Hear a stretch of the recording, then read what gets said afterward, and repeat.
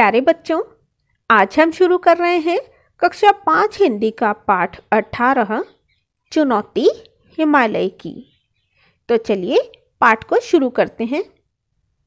जोजिला पास से आगे चलकर जवाहरलाल मातायान पहुँचे तो वहाँ के नवयुवक कुली ने बताया, शाब, सामने उस बर्फ़ से ढके पहाड़ के पीछे अमरनाथ की गुफा है।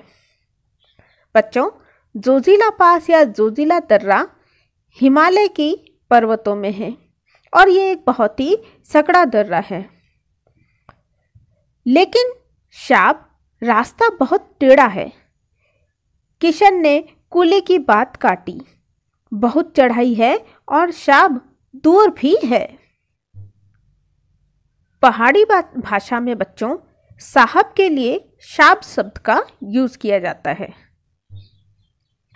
कितनी दूर? जवाहरलाल ने पूछा। आठ मील शाब कुली ने जल्दी से उत्तर दिया। बस, तब तो ज़रूर चलेंगे। जवाहरलाल ने अपने चचेरे भाई की ओर प्रश्न सूचक दृष्टि डाली। प्रश्न सूचक दृष्टि का मतलब है कि प्रश्न पूछती हुई भाषा में उनकी ओर देखना। दोनों कश्मीर घूमने निकले थे और जोजिला पास से होकर लद्दाखी इलाके की ओर चले आए थे।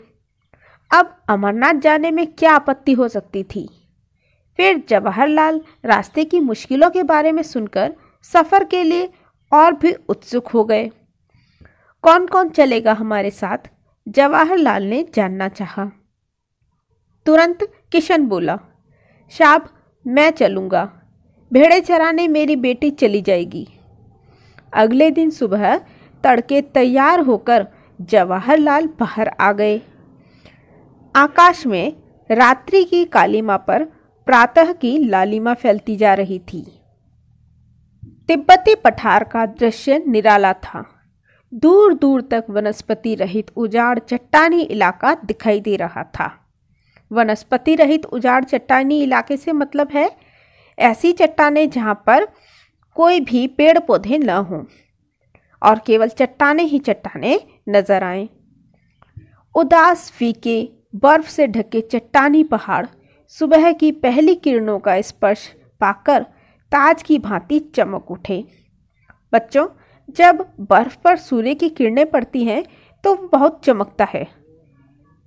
दूर से छोटे छोटे ग्लेशियर ऐसे लगते, मानो स्वागत करने के लिए पास सरकते आ रहे हों। सर्द हवा के झोंके हड्डियाँ तक ठंडक पहुँचा रहे थे। जवाहर ने हथेलियाँ आपस में रगड़कर गर्म की और कमर में रस्सी लपेटकर चलने को तैयार हो गए। हिमालय की दुर्गम पर्वतमाला मुँह उठाए चुनौती दे रही थी। जवाहर इस चुनौती को कैसे न स्वीकार करते? भाई, किशन और कुली सभी रस्सी के साथ जुड़े थे। किशन गढ़ेरिया अब गाइड बन गया। गढ़ेरिया होता है भेड़ों को चराने वाला। बस आठ मील ही तो पार करने हैं। जोश में आकर जवाहरलाल चढ़ाई चढ़ने लगे। यूँ आठ मील की दूरी कोई बहुत बड़ी होती, नहीं होती।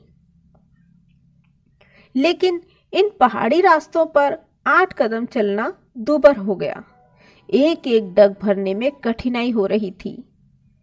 रास्ता बहुत ही वीरान था। पेड़ पौधों की हरियाली के अभाव में एक अजीब खालीपन सा महसूस हो रहा था। कहीं एक फूल दिख जाता तो आँखों को ठंडक मिल जाती। दिख रही थी सिर्फ़ पथरीली चट्टाने और सफ़ेद बर्फ़। फिर भी इस गहरे सन्नाटे में बहुत सुकून था।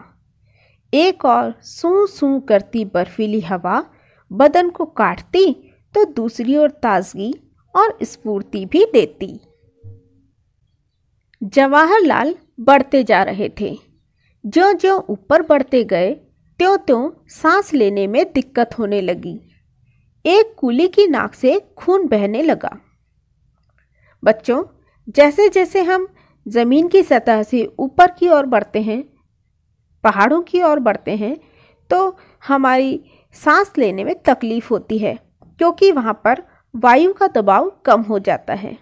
और वायु के दबाव के कम होने से सांस लेने में परेशानी आती है और हमारे खून के जो हमारा सर्कुलेशन है, उस पर असर पड़ता है।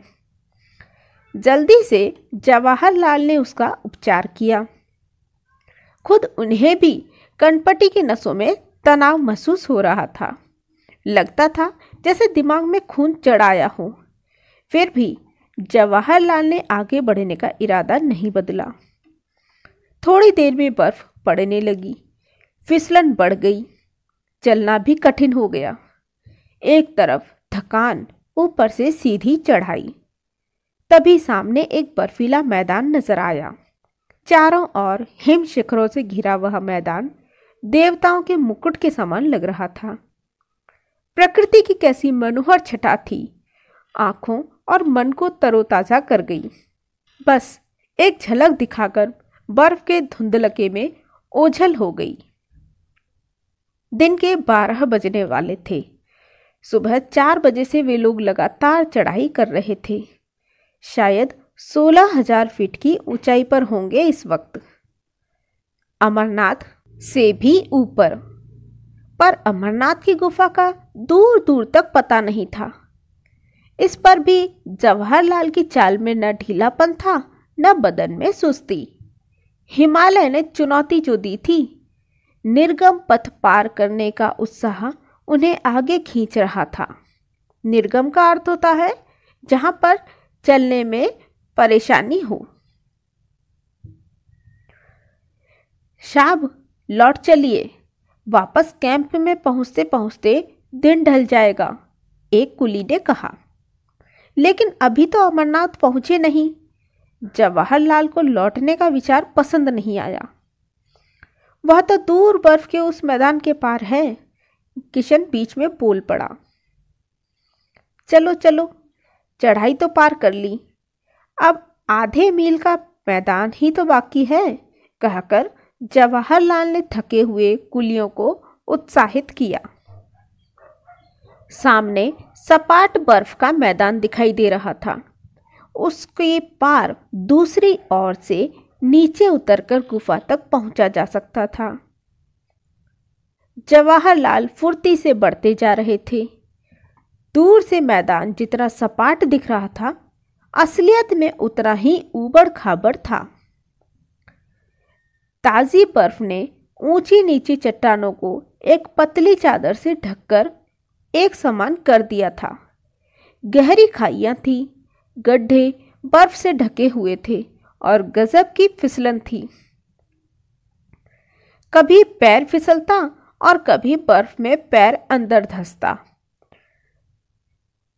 धसता जाता, बहुत नाप नाप कर कदम रखने पड़ रहे थे।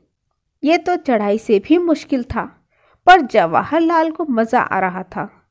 तभी जवाहरलाल ने देखा, सामने एक गहरी खाई मुँह फाड़े निकलने के लिए तैयार थी। अचानक उनका पैर फिसला।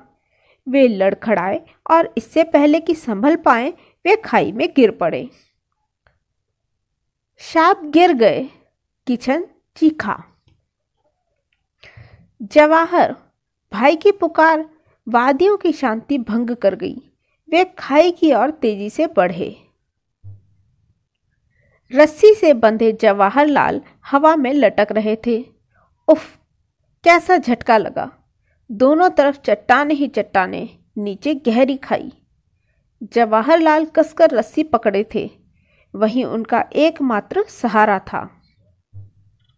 जवाहर ऊपर से भाई की पुकार सुनाई दी।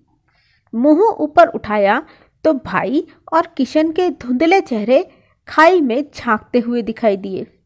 हम खींच रहे हैं, रस्सी कस के पकड़े रहना। भाई ने हिदायत दी। हिदायत देना मतलब समझाना। जवाहरलाल जानते थे कि फिसलन के कारण यूँ ऊपर खींच लेना आसान नहीं होगा। भाई, मैं चट्टान पर पैर जमा लूँ। वह चिल्लाए। खाई की दीवारों से उनकी आवाज़ टकराकर दूर दूर तक गूंज गई। हल्की सी पैंग बढ़ा। जवाहरलाल ने खाई की दीवार से उभरी चट्टान को मजबूती से पकड़ लिया और पथरीले धरातल पर पैर जमा लिए। पैरों तले धरती के एहसास से जवाहरलाल की हिम्मत बढ़ गई। घबराना मत जवाहर, भाई की आवाज़ सुनाई दी। मैं बिल्कुल ठीक हूँ, कहकर जवाहरलाल मजबूती से रस्सी पकड़ एक एक कदम ऊपर की ओर बढ़ने लगे। कभी पैर फिसलता, कभी कोई हल्का फुल्का पत्थर पैरों के नीचे से सरक जाता तो वह मन ही मन काँप जाते और मजबूती से रस्सी पकड़ लेते। रस्सी से हथेलियाँ भी जैसे कटने लगी थीं, पर जवाहर ने उस तरफ़ ध्यान नहीं दिया। कुली और किशन उन्हें खींचकर बार बार ऊपर चढ़ने में मदद कर रहे थे। धीरे धीरे सरक कर किसी तरह जवाहरलाल ऊपर पहुँचे।